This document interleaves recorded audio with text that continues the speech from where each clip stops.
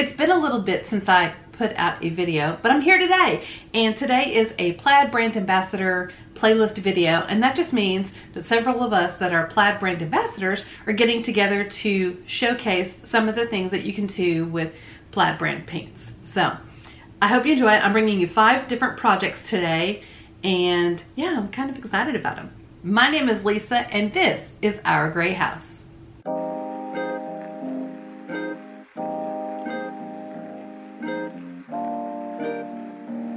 For DIY number one, I'm just gonna be taking this antique wax and I'm gonna be using it to stain this little mini sled that I got from Dollar Tree. I'm just using a paintbrush to apply it and then I'm gonna be using a spare rag to wipe off the excess. And then I'm gonna be taking this silver metallic paint and what I'm trying to do is create a vintage rustic sled here. And so I'm just taking this silver paint and I'm gonna be using it to paint where the runners would be because back in the day, the runners would have been metal. But this paint, it, it's just not either going over that antique wax very well, but I just don't like the color. I don't really like how it's looking or turning out. So I decided to take some black paint and I'm gonna be kind of going around the edges, doing a line down the center to kind of simulate some depth and dimension to these runners. But um, yeah, I'm just, I'm not, I didn't really have an inspiration piece to kind of guide me in how I wanted to paint it. So I'm taking my sanding block, trying to rough it up a little bit, using my distressing ink to kind of add some other color and dimension to it. Overall, it turns out okay, but it's definitely not my favorite part of this project and I'm probably going to end up going back and kind of retouching it up again because I just, I wanted it to look like real runners. And I'm just distressing the rest of the, the sled because I wanted it to look vintage. And then I'm going to be adding some embellishments. It's just a pick that I got from Dollar Tree. And I took, I didn't use the jute twine that it came with. I just used this little piece of string because I thought it looked more vintage to me.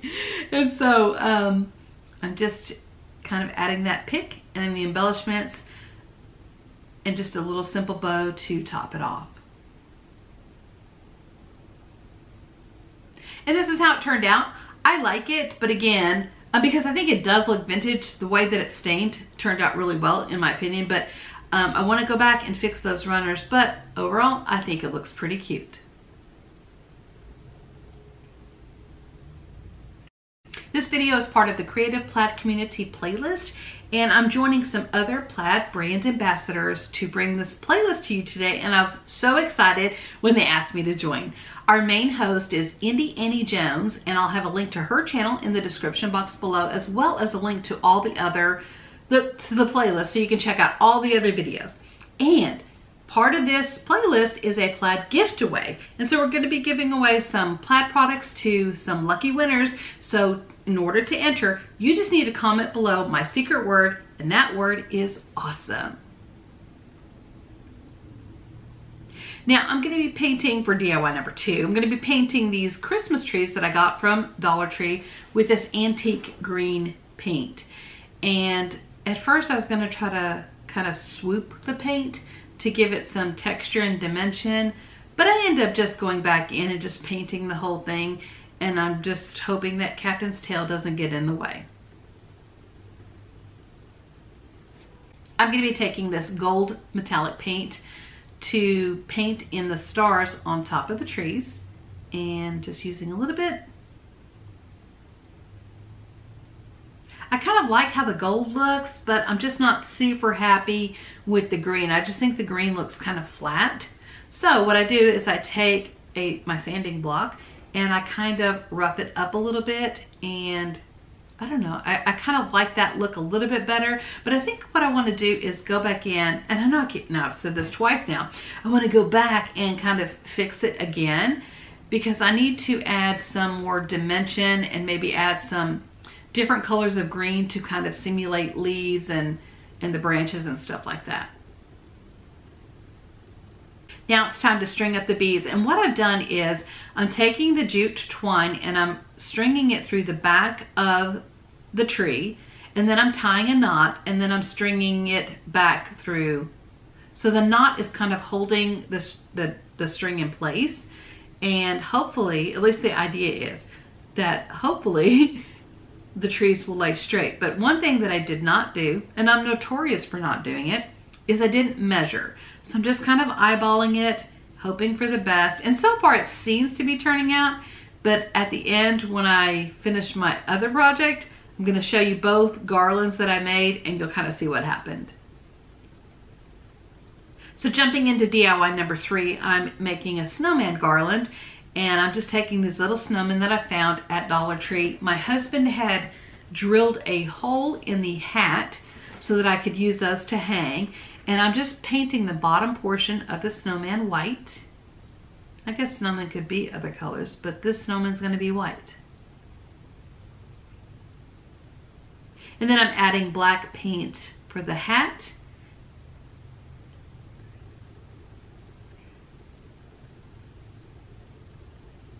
And then I'm painting on their little faces, just putting little dots for the eyes using black paint.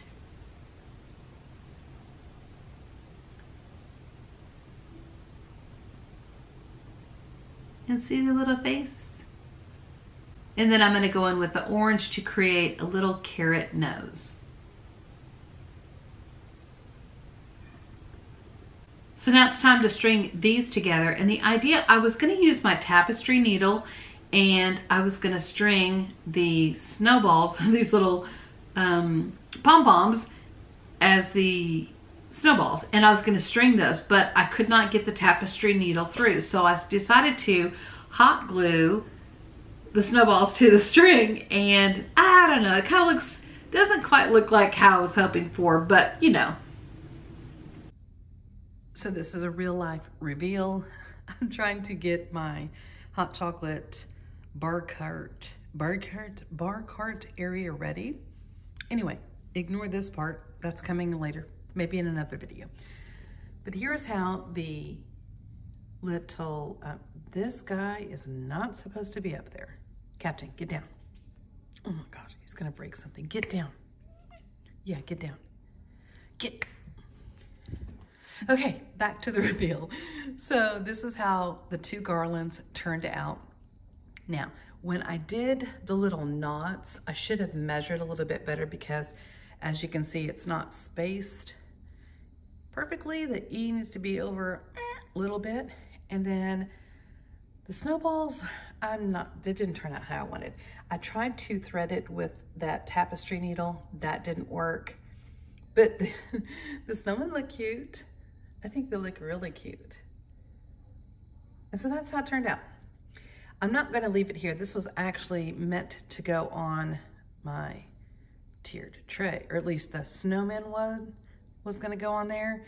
And I was thinking about leaving the Mary there. I'm not sure yet because I haven't gotten this area clear. Anyway, focus. Focus on that. There you go. This video is also a part of Corie's mini challenge playlist. I'm going to have a link to Corie's new channel and hope you go and check it out and subscribe to her. And it'll also have a link to the playlist in the description box below. I always love being a part of this playlist because I love all things mini, so it's just the perfect playlist for me to be a part of. For DIY number four, I'm just taking this wood slice that I got from Hobby Lobby, and y'all know my secret. If you're gonna get wood slices from Hobby Lobby, make sure that you go to the his and hers wedding section because every other week they're 50% off and it's a better deal than getting it from the woodpile section. Anyway, I'm painting the center black. And then I'm gonna go in with this white paint and I'm gonna be creating like a little half circle type thing. I'm making a snowman. Well, maybe I shouldn't have told you. Maybe I should have let that be a surprise. But anyway, I'm painting the white in the bottom portion to make the snowman's head.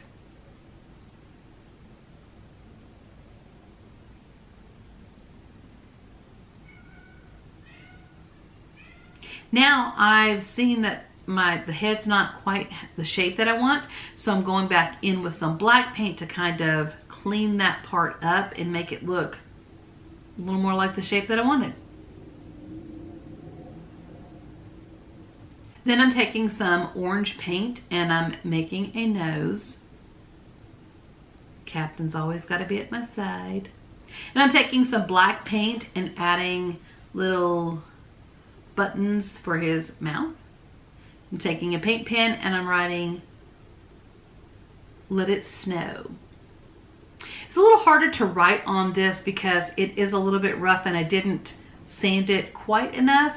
But even if I, even in the parts that I did sand, it's still kind of rough. And so I'm just adding some snowflakes and some dots as to be like snow. And this is how it turned out. Now, I'm not trying to be too critical of my work, but you can't really see the words let it snow very well. So I don't know. Maybe I shouldn't have. Maybe I'll go back in and paint. See, I'm trying to fix all of my projects. I mean, I like how it turned out, but I just don't think you can see the let it snow very well. So I think I need to fix that and kind of maybe paint over some of those little white dots so you can see it better. What do you think? Let me know in the comments below in case you didn't know, my friend Sarah from Jujube DIY and I have a group on Facebook. It's called Crafty DIYs on a Budget, and the link is going to be in the description box below. We talk all things craft there, so if you're into crafts, and I guess you are because you're watching my video, be sure and hit click the link so that you can join our group on Facebook. We'd love to chat and connect with you there. All right, y'all, the final DIY, the finale DIY number five. I'm taking this terracotta pot and I'm using white paint to paint it, to paint it white, as you can kind of see. So I'm going to be making some Mexican inspired pottery. Now the pottery is called Talavera and it's just typical Mexican pottery. And so what I did was I found some images on just on the internet and I'm using those as kind of a guide, as kind of an inspiration piece, if you will, for what I'm gonna do. So I tried using that carbon paper. The carbon paper is, it was too, I didn't wanna use the carbon paper on the pot because I felt like it would show through too much and not the way that I wanted. So I was just taking this little template. I'm gonna have a link to the template in the description box below just in case you want to kind of play around with it and see how you might want to design yours if you decide to try to do a project similar to this. Anyway, I'm to have that in the description box below. I'm just using my phone as reference for my inspiration piece so I know what colors are going where. And I've sketched it on with my pencil, so basically at this point, I'm just coloring it in like a coloring book. It's not really that hard but I'm not as adept at using a paintbrush and I'm not necessarily a painter, but um, I'm learning and that, that's an important part, I'm learning, but I'm just trying to get the colors right and in the right spots. Now I'm going back in and I'm outlining it with the black and this is the part where man, I feel like I sound critical of myself today, but um, it didn't quite turn out like the inspo piece. But you know, I'm practicing and I'm learning, and that's always a good thing. And I'm liking how it's turning out so far. So again, going in and adding some color where it needs to go. At this point, I'm really thinking, you know, this is turning out pretty cute. And I'm really pretty happy with it. My husband said though that I need to make it shiny so I went back in with some Mod Podge to give it a coat because in theory this would have been a fired piece of pottery. I'm not going to fire it so I'm just mimicking that with the Mod Podge so that it looks shiny. And this is how it turned out. So maybe my lines aren't the smoothest but I really I think I think it looks like Talavera pottery. I mean it kind of looks like what I was hoping for. So I think the next time I can, I found some things that I might want to do a little bit differently to make it, you know, turn out a little bit better. But for my first attempt at making Talavera pottery, I'm really very, very pleased with myself and how it turned out.